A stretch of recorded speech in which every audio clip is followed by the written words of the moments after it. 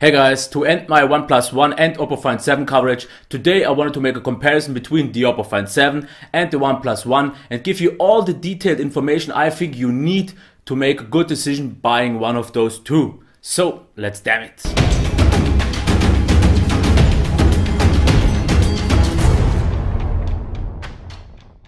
Let's start with the design and the build quality. And in this case, I have to admit, in terms of build quality, the cheaper device even has the upper hand because since it's more of a one piece design on the OnePlus One, it feels more, I would say, solid because nothing creaks at all.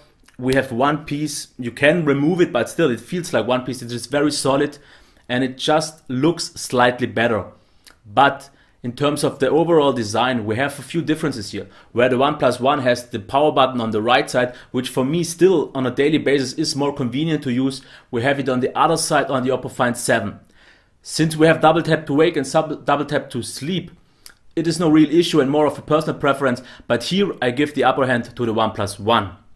But in terms of the overall design, due to the Oppo Find 7 being a little bit more narrow, and also thicker, but therefore somehow substantial. It just feels way better in the hand. It is also more compact and feels smaller. I would say almost closer to the Nexus 5 than to the OnePlus One.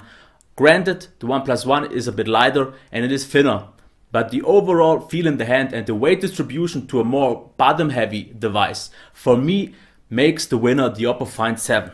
Let's talk about the display now. And I have to say, everyone says they have the same panel, but looking both by, side by side, you wouldn't even really notice it because there are a few differences right now. There are maybe a software thing, but maybe not because the differences here are the overall brightness. The OnePlus One in my case is, I would say, about 10% brighter and slightly feels more vivid. This is, I think, more of the calibration thing. And the really good thing about the OnePlus One is we have color settings in the options menu which gives you a lot of options like saturation. You can change the hue, you can change some other things. And this gives you the chance so you can customize the video quality and the picture to your liking. Otherwise, the differences are, at least in my case, the OnePlus One is way colder calibrated. The white is almost cold, but very white. This is one thing I prefer. But therefore, the Oppo Find 7 has the ever so slightly warmer and maybe more pleasant white for a longer period of time if you're watching it. Personally, I prefer the OnePlus One, but still. But then the other issue for the OnePlus One is we have the yellow band, which seems to be a common issue, and also a lot of yellow calibrated devices. Okay, the Oppo Find 7 also has some of these issues, but at least in my case, the Oppo Find 7 was fine, where it wasn't on the OnePlus One. So that's one thing. If we have both flawless devices in terms of the display, I would choose the winner to be the Oppo, uh, the OnePlus One.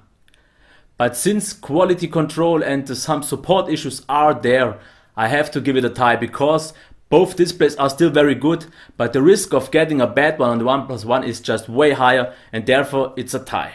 Talking about the sound now, and for me, one really important thing is the maximum volume.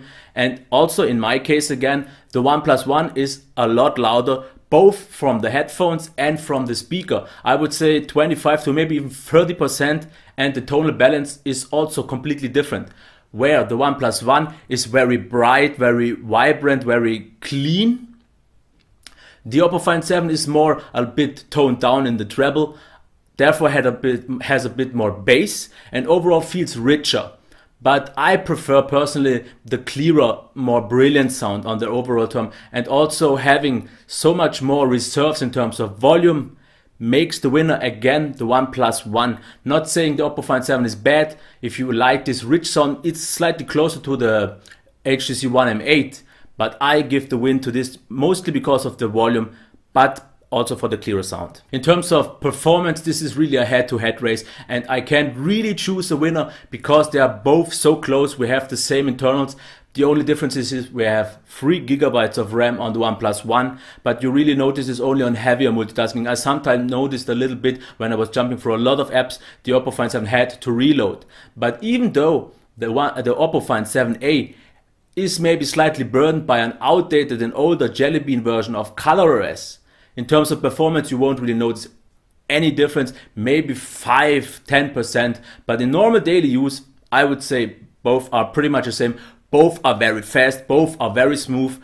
overall great experience and I have to call it a tie here again. Another very important thing worth mentioning is the battery life. Where the Oppo Find 7a charges in about 60 to 70 minutes, the OnePlus One needs 2 hours for this test. This maybe sounds like a big difference, but in the end, if you're charging overnight or so, it does really make a difference. But therefore you have the longer lasting battery life where I got through a day of maybe 15 hours and 4 hours of screen on time barely with 35% of brightness on the Oppo Find 7a. I got through days with 20 hours or more in total with 5 hours on screen on time with only 30% of brightness which was made in more okay because the display was just brighter. So it's for you to decide. If 4 hours with the heaviest work are okay for you and you therefore prefer the quicker charging, the Oppo Find 7 could be the right one for you. But personally, I prefer the longer lasting battery life because I just don't want to charge. I could charge whenever I needed to, but I don't want to and therefore I prefer the longer lasting battery life on the OnePlus One, which is I would say about 25% better than on the Oppo Find 7a, and that's why my winner is the OnePlus One. Maybe one of the biggest differences here out of the box on these two devices is the software. We are running ColorOS with Jelly Bean 4.3 on the Oppo Find 7 and 4.4.2 KitKat with CyanogenMod 11S on the OnePlus One. And this is a real big difference because CyanogenMod 11 is pretty much on the newest version, has a lot of useful and nice features that really enhance the overall experience. ColorOS isn't bad, but it is outdated and slightly limited in terms of options. I'm missing a lot of options because the device has the potential in terms of hardware using all those features, but they are just not in the software here. And the one with the CyanogenMod is way closer to stock, so if you like Nexus-like devices or stock, the OnePlus One is definitely your thing. But don't forget one thing. If you root and if you use custom ROMs, you can equalize this all. Because the Oppo Find 7a has ROMs like Dirty Unicorns, with tons of tons and features who really use the full potential of this device. And in the case of the OnePlus, you can use Mahdi or any other high feature ROM. I would recommend Mahdi. And then you are neck to neck again in terms of the uh, performance and in terms of the software because then both are on the newest version. Both have all the possible features to really, like I said, use the full potential of this device. And then it's a tie. But out of the box, definitely the clear winner is the OnePlus One. So we've gone through all the categories and we chose a winner wherever there was one. So who's the winner in the end now? And this time I have to agree it's not that easy because if I listen to my brain, the winner would be the OnePlus One because of the better display, the better sound, the better battery and the better software. But if I listen to my guts, I would choose the Oppo Find 7 because it has the better feel in the hand and it's slightly more compact and a bit more premium in overall. But it's not that easy because you also have to remember one thing. On the OnePlus One, chances are pretty high you get a flawed device. But if you never, if you get a flawless device and never have to reach their support, this could be the unicorn that makes you super happy. But like I said, the chances are pretty high you will get a flawed device and will get in trouble with their support. And that's why the Oppo Find 7a maybe is the safer bet because you have a better support and you have better be um, quality control. So you have to choose one or the other. The safe side or the maybe better but therefore riskier side. What do I choose? Since I already told you I've sold the Oppo Find 7 to one of my friends, which was already a done deal before the review, I'm still stuck with two One Pluses. And if they get replaced and if I get a flawless one, I think I will be pretty happy with it until whenever I think I have to upgrade or do anything else. If not, we will see and I will keep you updated if anything happens. But otherwise, the OnePlus One in overall seems to be the better device with a few things to keep in mind. So this was my rather compact comparison for the Oppo Find 7 and the OnePlus One.